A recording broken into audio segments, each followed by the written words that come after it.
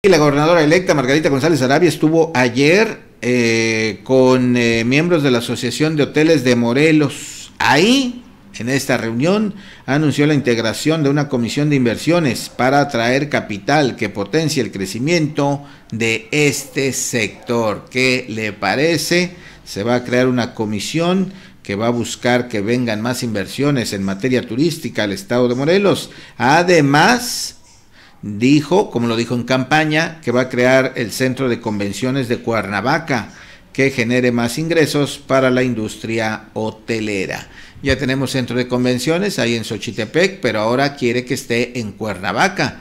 Así es que será interesante eh, saber en dónde va a estar, cuánto va a costar y en qué tiempo se va a construir. Por lo pronto ya lo prometió, Morelos lo tiene todo y es el momento de detonar nuestro potencial turístico, dijo González Sarabia, que bueno, ella bien que sabe del turismo, ¿verdad?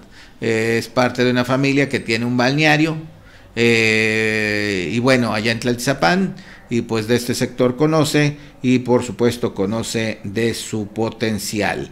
También dijo que el Fideicomiso de Turismo de Morelos se va a transformar en una organización de congresos y visitantes con el objeto de que Morelos sea un importante centro turístico a nivel nacional. Eso fue lo que dijo.